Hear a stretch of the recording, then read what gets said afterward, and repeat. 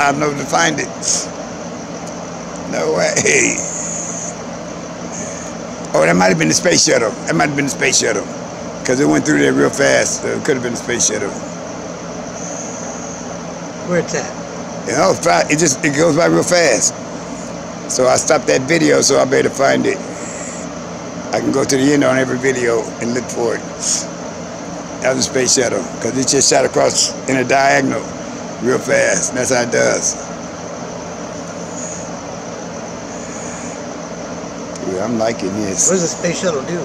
You know the one space station. I mean the space station.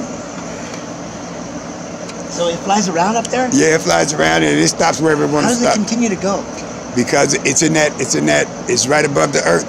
You gotta remember, space starts at 30, 30 miles up, and then then it, it, it it's above the, the gravity. So it's just in a plane of just, he just give himself a little push, man. He's gone. But I don't think they're going as fast as they say they're going. 27,000 miles an hour. I don't believe that.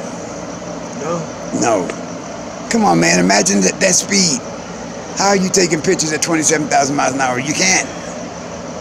You're going too fast.